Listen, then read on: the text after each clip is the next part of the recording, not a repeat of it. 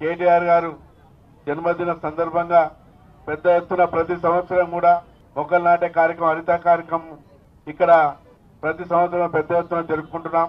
ఈ నాలుగు సంవత్సరాలు కూడా పెద్ద ఎత్తున మొక్కలు కూడా నాటడం జరుగుతున్నది.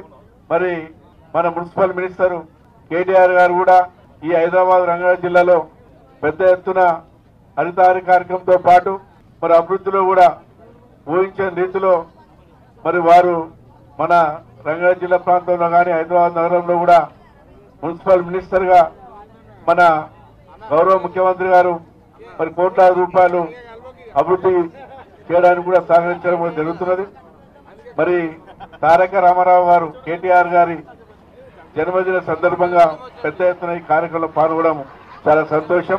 మరి ఈ సంవత్సరం నేను నాకు వచ్చే మరి మంత్రి గౌరవ వేతనం నుంచి ఆరు లక్షల రూపాయలు సీఎంఆర్ఎఫ్కు ఇస్తానని చెప్పి నిర్ణయం తీసుకొని డీడీ కూడా తయారు చేయించడం జరిగింది.